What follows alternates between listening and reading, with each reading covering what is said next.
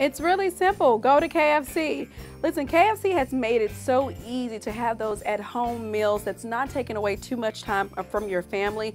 I love that they've even gotten in on the internet rave, the charcuterie board. If you hashtag charcuterie board, you'll see that it's over 225 million views. But sometimes it's like, oh, you think a charcuterie board is like, um, it's that expensive cheeses and all of these fancy meats.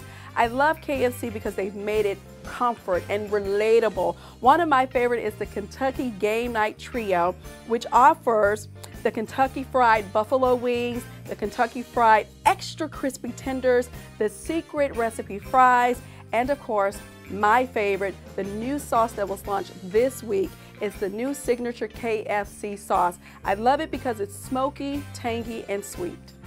Listen, it's really tough because now the kids are being homeschooled. They're sitting in front of a computer all day. They're tired. And then when it comes down to eating, they don't want to continue to sit and eat a four course meal. KFC has also thought about that. So they're offering the Little Dipper, which again is offering the crispy ch uh, chicken tenders, your secret recipe fries, and of course the dipping sauces, which we know kids love to dip.